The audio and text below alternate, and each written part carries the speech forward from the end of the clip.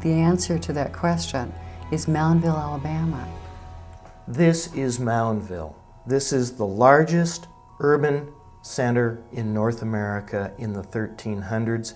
It's the center of religion, it's the center of government, and it's the, the center of the military. And these people had a, had a really sterling military. When you see the flat top mounds, most of those were clan houses, and all of the smaller conical mounds, the rounded mounds, were burial mounds. This is a story about the Mississippian world. This is North American high civilization in the, the wake of Cahokia. People of the Weeping Eye and People the, of the Thunder focus on two primary characters.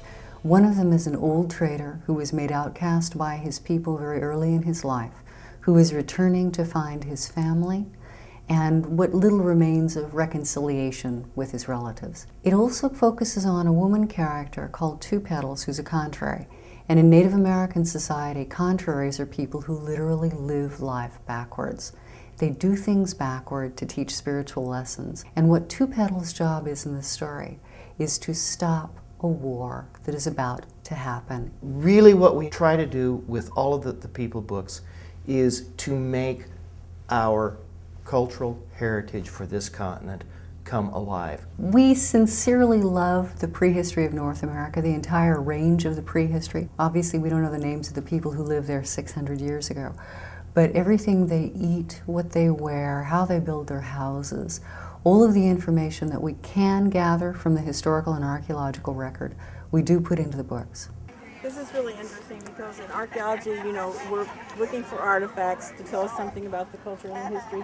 And he might want to film this because there's an artifact still in the wall. About six inches up, you'll see this a pottery shard. When we first started studying archaeology, I was 10 years old when I was on my first archaeological excavation. And you start dreaming the lives of those people the instant you pick up an artifact that's a thousand years old or 10,000 years old.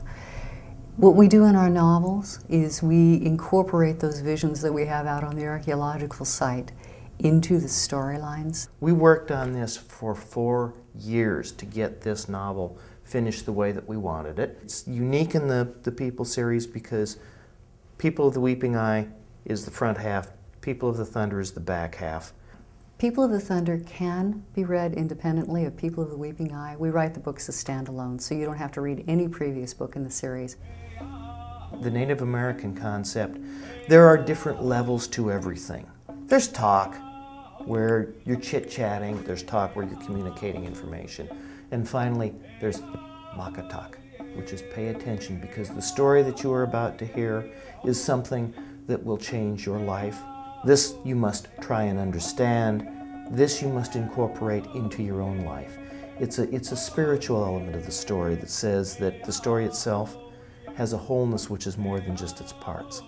That's what we try to do with People of the Weeping Eye and People of the Thunder. Makatak.